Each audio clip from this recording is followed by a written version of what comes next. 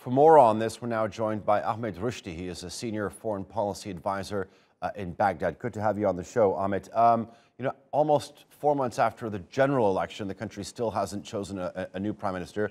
Uh, a cancellation or a boycott of the presidential election would be just the latest chapter of political turmoil.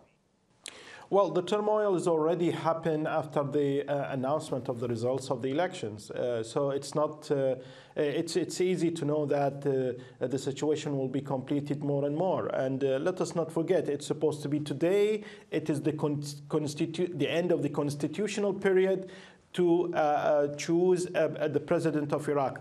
But the problem, there will be no quorum inside the session of the parliament, which means that it will be either postponed or uh, the, the, second scenario is that they will open uh, uh, the, uh, to, to have more candidates uh, uh, or new candidates for the presidentship, which I think the second, the second scenario will happen.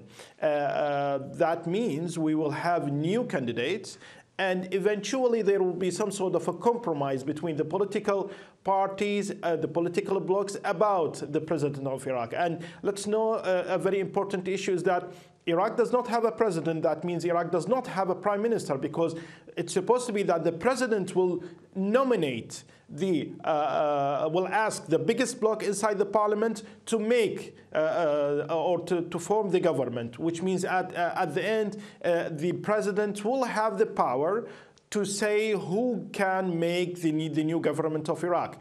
Uh, and this is the obstacle. Until now, we are uh, uh staying in the middle. Uh, the crisis is still complicated, it's still complicated day by day, and no one knows what's going to happen after that. Um, I want to get your thoughts on how much you think this was a blow for Muqtada al Sadr, who was the biggest winner in the uh, October elections. And we all know that he's been supporting Hoshyar Zebari's bid for president.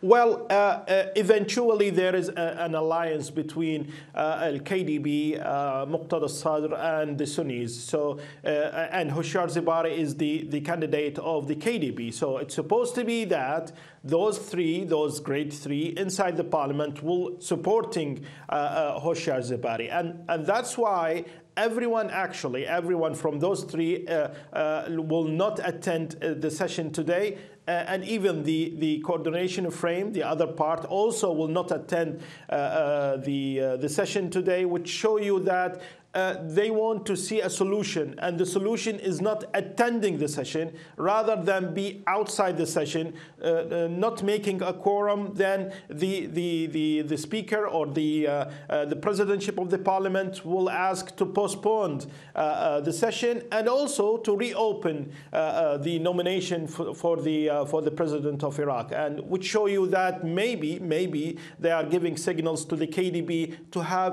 a substitution for Hoshyar Zebari. We'll see which one of those scenarios uh, plan out. All right, Ahmed Rushdi, thank you very much for joining us here on TRT World. I do appreciate the analysis.